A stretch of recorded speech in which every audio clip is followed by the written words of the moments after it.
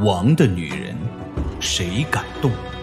作者：拈花惹笑，演播：一刀苏苏，一种侃侃，后期制作：千雪。第九百七十五集。嗨，别调侃我了。赵玉生嘴角微扬，我现在就去给建议带点粥，顺便再给你们带一点燕窝。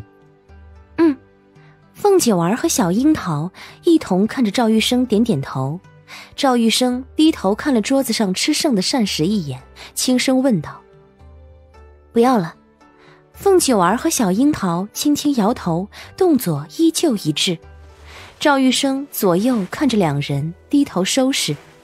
小樱桃含笑站了起来，凤九儿也站了起来，伸了伸腰，甩甩双手和双腿，转身往屏风而去。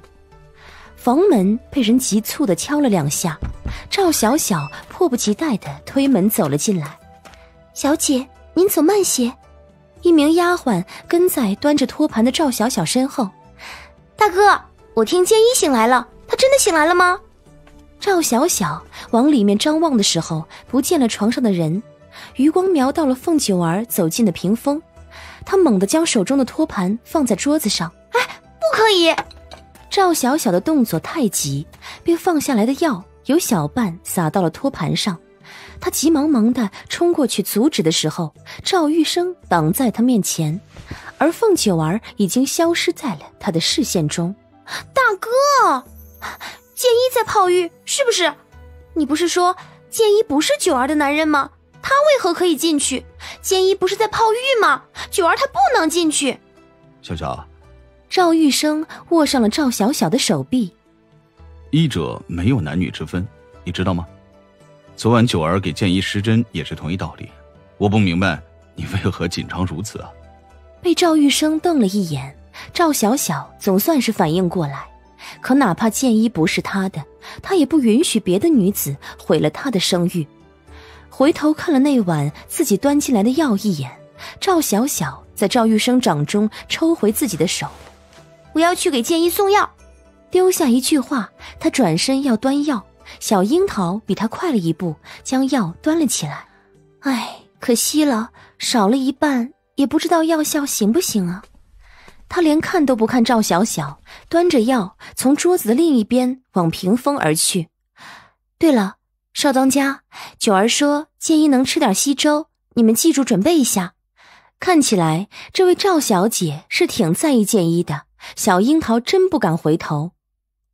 好，赵玉生似乎得到了提醒那般，再次握上赵小小的手臂。哎，小小，那药还有吗？若是药效不足，也不利于建议养伤哦。还有，你能去准备一些稀粥吗？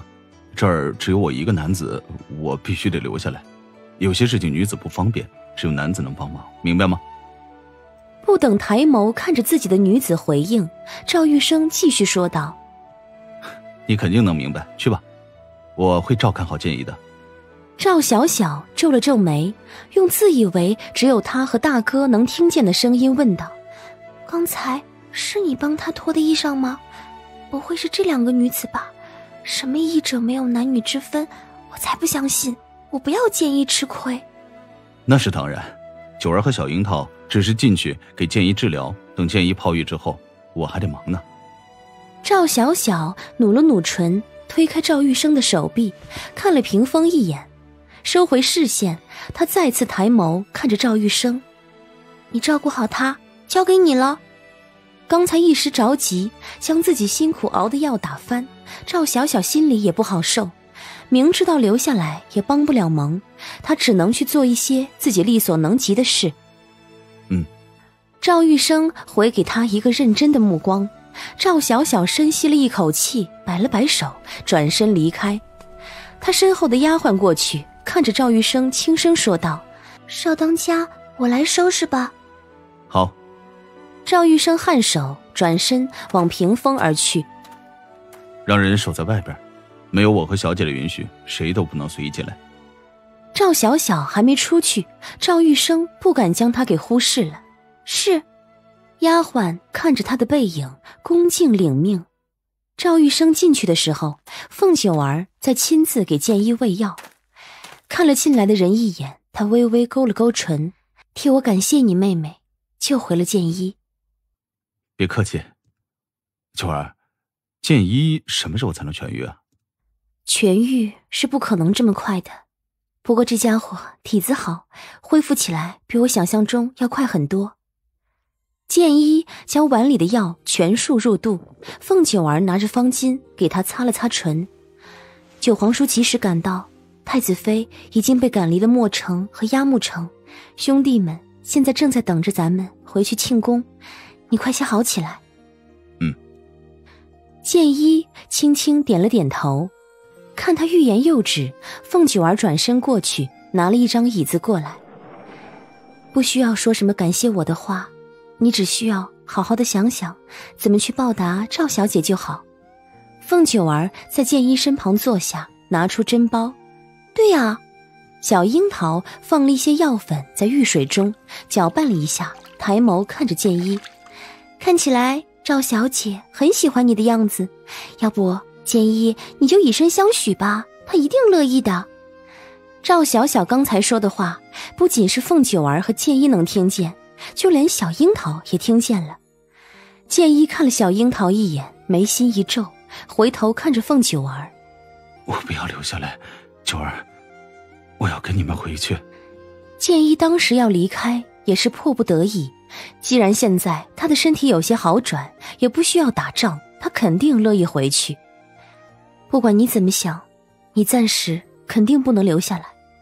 凤九儿手捏银针站了起来。为何？赵玉生轻声问道。